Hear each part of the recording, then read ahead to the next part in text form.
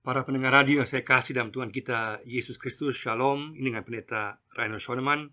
Pada saat ini kita akan meneruskan seri kita itu bagian yang ketiga dari sikap menghadapi akhir zaman, sikap menghadapi akhir zaman dari 1 Petrus 4 ayat 7 sampai 11 dan kita memasuki bagian yang ketiga yaitu sikap dalam pelayanan. Sikap dalam pelayanan ayat 10 sampai 11, 1 Petrus 4 ayat 10 dan 11. Saya baca, Layanilah seorang akan yang lain sesuai dengan karunia yang telah diperoleh tiap-tiap orang sebagai pengurus yang baik dari kasih karunia Allah. Jika ada orang yang berbicara, baiklah ia berbicara sebagai orang yang menyampaikan firman Allah.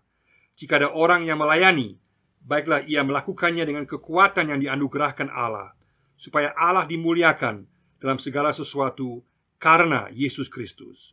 Ialah yang mempunyai kemuliaan dan kuasa sampai selama-lamanya. Amin.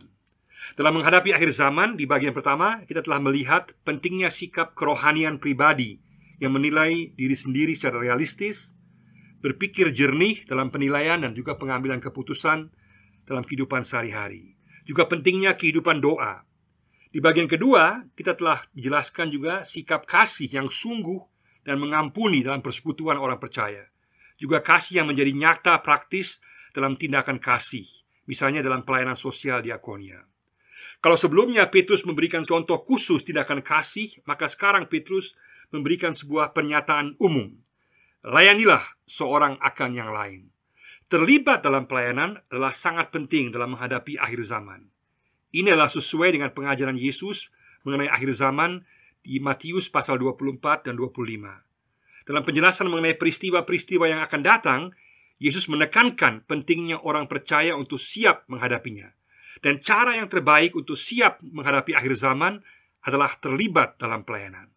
Terlepas kapan Yesus datang kembali, cepat atau lambat, yang penting adalah siap dalam keterlibatan pelayanan. Bukan spekulasi kapan datangnya Yesus kembali yang penting, tetapi kesiapan dengan terlibat dalam pelayanan sesuai dengan apa yang Tuhan telah percayakan ke dalam hidup kita masing-masing Itulah yang sangat penting. Ini menjadi jelas dalam tiga perumpamaan di Matius 24 dan 25 tentang hamba yang setia dan yang jahat, gadis-gadis yang bijak dan yang bodoh, dan tentang talenta. Yang akhirnya menentukan adalah kesiapan dengan cara terlibat dengan setia dalam pelayanan. Dan barang siapa yang setia dalam pelayanan yang telah dipercayakan kepadanya, maka Tuhan Yesus akan memuji dan berkata, "Hai hambaku yang baik dan setia, masuklah dan turutlah dalam kebahagiaan Tuhanmu. Matius 25 ayat 23. Inilah penghargaan tertinggi yang dapat dicapai oleh manusia. Pujian dan penerimaan Tuhan Yesus. Penghargaan yang lain yang tentu bagus, tetapi tidak sebanding dengan pujian dan penerimaan Raja segala Raja, Tuhan Yesus, dan dapat berada bersamanya selamanya. Semua prestasi dan karya manusiawi adalah baik untuk dicapai, tetapi fokus utama haruslah kepada penilaian dan penerimaan Tuhan Yesus dalam pelayanan kita, karena itu bersikap dan bersifat kekal. Cara mempersiapkan diri yang terbaik menghadapi akhir zaman juga adalah gambaran kehidupan orang percaya. Ibaratnya, persekutuan pelayanan orang percaya adalah seperti sebuah lingkaran di mana satu tangan direntangkan ke depan dan dengan satu tangan saling berpegangan melambangkan persekutuan. Kemudian semua tangan itu bersama-sama diangkat ke atas artinya melambangkan hubungan pribadi dengan Tuhan. Dan tangan yang lain menjangkau keluar dalam pelayanan, menjangkau mereka yang membutuhkan pertolongan dan yang belum mengenal Injil Yesus. Maka jemaat bukanlah sebuah lingkaran ke dalam yang saling berpegangan kiri dan kanan dan hanya berorientasi ke dalam, tetapi sebuah lingkaran di mana semua berdiri menyamping dan satu tangan dalam hubungan dengan persekutuan dengan yang lain dan satu tangan menjangkau keluar maka ada kekuatan rohani dari hubungan dalam persekutuan orang percaya dan dari hubungan pribadi dengan Tuhan, dan ada orientasi kepada pelayanan keluar. Hubungan ke dalam dan jangkauan keluar ini terjadi silih berganti. Artinya, jangan di dalam terus, tetapi jangan di luar terus. Kalau di dalam terus, berarti tidak ada pengaruh dan dampak keluar. Tetapi kalau keluar terus, maka tidak ada kekuatan rohani bagi pelayanan. Berarti ke dalam terus keluar dan ke dalam lagi dan seterusnya. Dalam ayat 10 dan 11, Rasul Petrus menekankan empat aspek yang penting dalam pelayanan yang perlu diperhatikan. Yang pertama, pelayanan merupakan tugas seluruh umat percaya. Pelayanan merupakan tugas seluruh umat percaya. Layanilah seorang akan yang lain. Ini berarti ada kalanya seseorang menjadi subjek pelayanan dan ada kalanya menjadi objek pelayanan. Artinya ada waktunya saya melayani dan ada waktunya juga saya dilayani. Jadi tidaklah benar kalau ada orang yang hanya melayani dan juga ada orang yang hanya dilayani. Ini tidak sesuai dengan kesaksian perjanjian baru. Yang benar adalah semua harus terlibat pelayanan, baik di dalam jemaat maupun di dunia. Kalau ini tidak kita lakukan, maka kita bukan saja menentang kesaksian firman Tuhan, tetapi juga berarti pelayanan kita tidak akan memiliki pengaruh dan dampak yang besar. Kita pada dasarnya sedang menggali kubur kita sendiri jika kita tidak melibatkan warga jemaat dalam pelayanan. Karena kita pasti akan kekurangan tenaga yang mampu dalam pelayanan yang semakin majemuk dan kompleks dengan berbagai kebutuhan dan masalah. Kita pasti juga akan tidak efektif dan jangkauan pelayanan kita akan sempit. Kalau kita dalam pelayanan hanya mengandalkan beberapa orang tertentu saja, mereka dalam bahaya kena S4, S4. Stres, stroke, stop, dan sayonara. Jangan sampai ini terjadi. Jangan sampai S4, stress, stroke, stop, dan sayonara. Maka kita harus melibatkan seluruh warga jemaat. Melibatkan seluruh warga jemaat berarti beban pelayanan akan semakin ringan.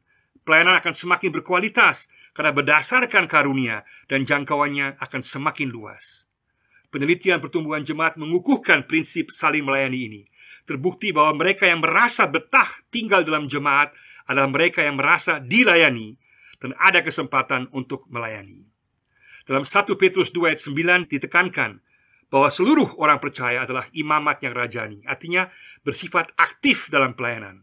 Kalau dalam perjanjian lama hanya suku Levi yang melayani, maka sekarang dalam perjanjian baru semua orang percaya diberikan hak dan tugas untuk melayani. Kamulah imamat yang rajani. Artinya semua orang percaya. Inilah revolusi perjanjian baru. Karena roh kudus telah dicurahkan kepada semua orang percaya. Modal terbesar pertumbuhan jemaat adalah warganya. Dan warganya harus diberdayakan dan dilibatkan. Ini juga merupakan hasil penelitian pertumbuhan jemaat. Jemaat-jemaat yang secara konstan bertumbuh Baik secara mutu dan jumlah Adalah jemaat-jemaat yang memberdayakan Dan melibatkan sebanyak mungkin warga jemaatnya Secara status, semua orang percaya adalah hamba Tuhan hanya secara fungsi ada perbedaan. Mereka yang memimpin bukan berarti mendominasi, tetapi mengatur dan mengkoordinir serta melatih, mengajar, memberdayakan dan melibatkan warga jemaat. Transformasi gereja terbesar akan terjadi saat menemukan dan menekankan kembali keterlibatan warga jemaat dalam pelayanan. Seluruh gereja dengan Injil yang utuh kepada seluruh dunia. Ini berarti perlu sekali ada tim-tim pelayanan sehingga ada kebersamaan, saling mendukung dan saling menjaga dalam pelayanan. Tidak ada pola memimpin dan melayani secara solo single dalam perjanjian baru, tetapi selalu adalah tim pelayanan, misalnya kisah para rasul 16. Maka urutan prioritas harus jelas. Injil, jemaat secara keseluruhan, baru hamba Tuhan secara perseorangan. Bukan hamba Tuhan adalah bintang, tetapi jemaat persekutuan pelayanan adalah bintang. Sudahkah kita sadar bahwa kita semua tanpa kecuali dipanggil untuk terlibat pelayanan? Ataukah kita menghindar dengan berbagai alasan? Tetapi semua alasan tidak bisa, tidak punya kemampuan, tidak punya waktu, tidak punya uang, dan lain-lain tidak berlaku di hadapan Tuhan. Mengapa? Karena setiap kita unik dan berharga dan dapat terlibat dalam pelayanan dengan karunia dan kemampuan khusus dan juga pengalaman hidup kita yang khusus pula. Sejauh mana kita bersifat pasif dan tunggu panggilan Tuhan? Padahal panggilannya sudah jelas. Layanilah. Sadarkah kita bahwa kalau kita menghindar, maka kita memperlemah pelayanan jemaat? Sejauh mana jemaat-jemaat kita sungguh mendorong keterlibatan warga jemaat dalam pelayanan dan juga memberdayakan mereka? Ataukah masih terlalu fokus kepada jabatan gerejani atau pemahaman hamba-hamba Tuhan yang khusus? Apakah pelayanan kita masih terfokus ke dalam jemaat dan kurang kepada lingkungan dan dunia sekitar kita? Katakan Tuhan, aku mau melayani. Katakan Tuhan, aku mau memberdayakan dan melibatkan orang lain dalam pelayanan. Yang kedua, pelayanan yang berdasarkan kepada karunia yang dimiliki. Pelayanan yang berdasarkan kepada karunia yang dimiliki, sesuai dengan karunia yang telah diperoleh. Tugas untuk saling melayani diperjelas oleh Petrus di sini. Pelayanan dilakukan sesuai dengan karunia yang kita miliki. Pada saat seseorang menjadi percaya kepada Yesus, dia dimeteraikan dengan Roh Kudus. Efesus 1, 13 dan 14. Dan diberikan setidaknya satu karunia rohani, tetapi biasanya memiliki beberapa karunia. Jadi ibaratnya diberikan karunia rohani sebagai hadiah kelahiran baru dalam iman percaya kepada Yesus. Yang dimaksud dengan karunia rohani adalah sebuah kemampuan khusus yang Tuhan berikan berdasarkan anugerahnya kepada setiap orang percaya untuk dipakai dalam pelayanan jemaat ke dalam dan keluar. Melayani sesuai karunia berarti kita tidak melayani sendiri tetapi dengan kekuatan Roh Kudus. Melayani tanpa karunia Roh Kudus ibaratnya dayung perahu sendiri. Sedangkan dengan karunia Roh Kudus kita memasang layar dan angin Roh Kudus yang tiup sehingga pelayanan kita menjadi berkat. Adalah sangat penting untuk mengetahui dan melakukan pelayanan kita sesuai karunia roh yang telah diberikan. Pelayanan kita meskipun juga akan ada tantangan, tetapi akan menjadi efektif, membawa berkat, dan kita memiliki sukacita. Karunia roh ini berlaku seumur hidup dan harus terus dikembangkan dan jangan disimpan. Karunia roh ini sekaligus merupakan panggilan, artinya Tuhan mau supaya kita melayani sesuai karunia kita, entah di mana tempat pelayanannya. Karismata Pemberian anugerah dari Allah harus diterima dengan sikap syukur. Jadi kita tidak bisa pilih-pilih. Memaksa Tuhan memberikan sebuah karunia tertentu itu bukan langkah iman, tetapi adalah sikap kurang bersyukur. Kalau buah roh yang berlaku untuk semua orang percaya bisa dan harus kita minta. Tetapi karunia roh adalah pemberian Allah dalam kasih karunia-Nya yang berdaulat. Tidak ada ranking antara karunia. Semua karunia sama bernilai di hadapan Allah. Karunia khusus harus dibedakan dari tugas umum orang percaya. Misalnya berdoa adalah tugas umum, tetapi ada orang yang secara khusus memiliki karunia doa dan fokus kepada doa. Juga penginjilan adalah tugas umum, tetapi ada orang yang secara khusus mempunyai karunia dan fokus kepada penginjilan. Jadi jangan paksakan orang untuk punya karunia yang sama. Jadi mereka yang punya karunia berdoa, berkumpullah dan berdoalah dengan mereka yang punya karunia doa. Karunia juga harus dibedakan dari talenta. Talenta dalam Matius 25 pemahamannya lebih luas dan melambangkan segala sesuatu yang Tuhan percayakan kepada kita, termasuk harta milik, kemampuan, posisi dan jabatan, waktu dan karunia. Jadi talenta adalah totalitas, keseluruhan dari hidup kita yang harus kita pertanggungjawabkan di hadapan Tuhan dan kita pakai dalam pelayanan. Jadi karunia untuk pelayanan adalah bagian dari keseluruhan talenta itu. Sekali lagi, Talenta adalah semua hal yang Tuhan percayakan ke dalam kehidupan kita yang harus kita bertanggungjawabkan dan gunakan untuk pelayanan secara holistis. Artinya rohani dan jasmani, penginjilan, pastoral, sosial diakonia, pendidikan, kesehatannya, kesemuanya secara luas. Dalam perjanjian baru ada empat daftar karunia. Di 1 Korintus 12 ayat 1 sampai 11, Roma 12 ayat 6 sampai 8, Efesus 4 7 sampai 14 dan di sini di 1 Petrus 4 ayat 10 dan 11. Keempat daftar ini bersifat memberikan judul kelompok besar pelayanan. Tetapi jenisnya secara rinci ada banyak sekali dan harus selalu disesuaikan dengan situasi dan kondisi aktual yang ada. Petrus membagi ke dalam dua kategori besar pelayanan, yaitu pertama karunia yang berkaitan dengan berbicara, seperti penginjilan, pengajaran, pastoral, kesaksian, bernyanyi, nubuatan, kata-kata hikmat, penghiburan, penguatan, dan lain-lain. Dan yang kedua, karunia yang berkaitan dengan melayani seperti sosial diakonia, memperhatikan orang miskin, orang tua dan yang lemah, orang sakit, dan semua mereka yang membutuhkan pertolongan. Administrasi, manajemen, keterampilan praktis, skill teknik, musik, olahraga, dan lain-lain. Pelayanan dalam jemaat akan berjalan dengan penuh sukacita dan efektif, serta menjadi berkat jika kita dilibatkan sesuai dengan karunia kita. Tetapi bila ini tidak diperhatikan, maka akan ada banyak yang frustrasi dalam pelayanan jemaat. Karunia di sini adalah setiap kemampuan yang dipenuhi dengan Roh Kudus untuk dapat digunakan dalam pelayanan di jemaat dan di tengah dunia. Untuk mengetahuinya, kita perlu meminta Tuhan membuka mata kita untuk melihat karunia yang kita miliki. kita harus sedia menerima apa pun karunia yang Tuhan berikan. Selain itu juga kita perlu membuat tes karunia untuk melihat karunia, kemampuan, interest, kelompok tujuan pelayanan yang secara khusus kita peduli. Ini kita lakukan sendiri dan dengan menanyakan orang lain yang mengenal kita baik.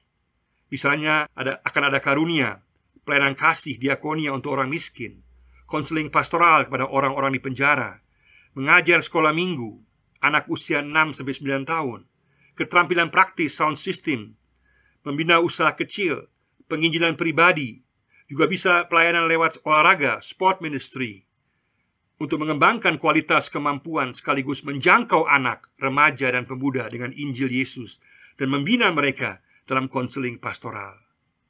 Setiap orang pasti memiliki beberapa karunia, tetapi yang penting mencari tahu dan kemudian menggunakan karunia yang paling menonjol, yang paling kuat, yang paling dibutuhkan dalam lingkungan jemaat dan juga lingkungan di mana kita ada.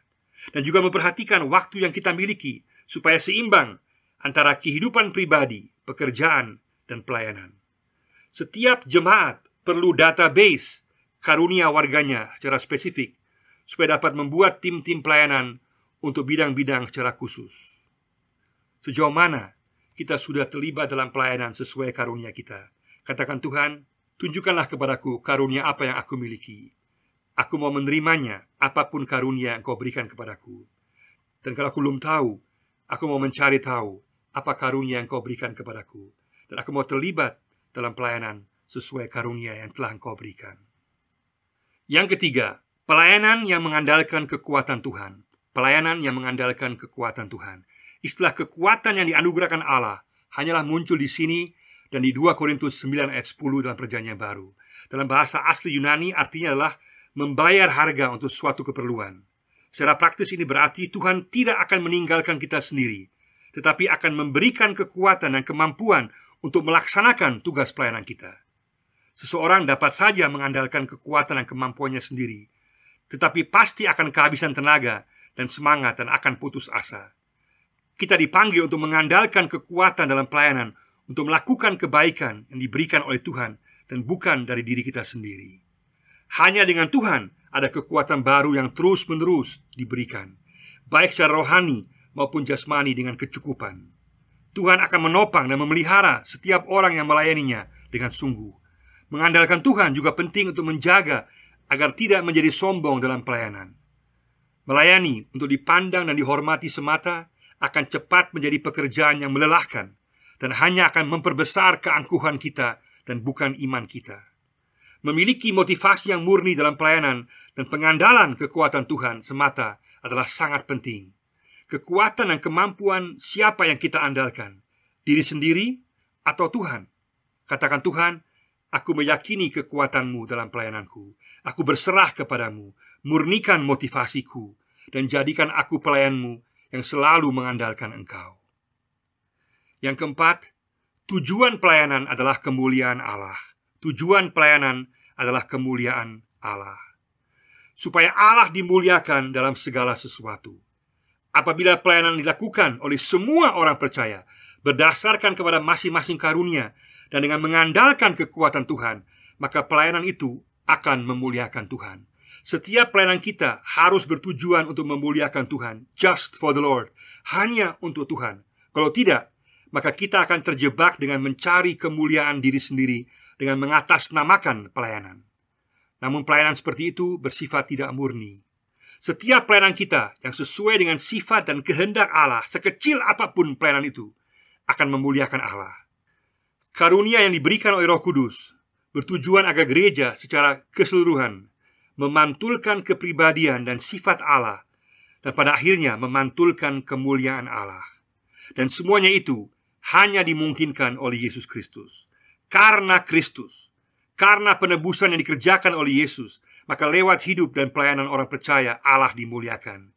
Jadi melalui keselamatan yang dibawa oleh Yesus, orang percaya memuliakan Tuhan. Dan sebagai dampaknya, orang percaya mengambil bagian dalam kuasa dan kemuliaan Tuhan Yesus kekal selamanya. Kemuliaan Allah adalah selalu bersama dengan Yesus. Ini merupakan petunjuk yang jelas kesatuan keilahian Allah Bapa dan Yesus. Kemuliaan siapa yang kita cari? Apa motivasi kita yang terdalam dalam pelayanan? Diri kita, nama kita, atau Allah dan pekerjaannya? Apakah kita sedang membangun kerajaan gereja kita sendiri atau membangun kerajaan Allah? Setiap orang Kristen harus selalu hidup dalam proses pemurnian motivasi pelayanan agar tidak melenceng dari kehendak Tuhan. Katakan Tuhan, aku mau memuliakan Engkau dalam setiap pelayananku. Ujilah aku, periksalah aku, tegurlah aku, agar aku tetap melakukan segala sesuatu bagimu dan bagi kemuliaanmu. Apa yang aku kerjakan mau aku lakukan dengan sungguh Karena di hadapanmu tidak ada pelayanan yang kecil atau besar Tetapi berlaku adalah pelayanan yang memuliakanmu. Aku mau memuliakanmu lewat pelayananku. Katakan pada Tuhan secara pribadi Aku mau terlibat dalam pelayanan sesuai dengan karunia yang Tuhan telah berikan kepadaku Aku mau melayani dan mengandalkan kekuatan yang Tuhan berikan Aku mau melayani untuk memuliakan Tuhan Pakailah aku Tuhan jadi berkat bagi orang lain dan membawa kemuliaan bagimu. Kiranya Tuhan memberkati kita semua. Amin.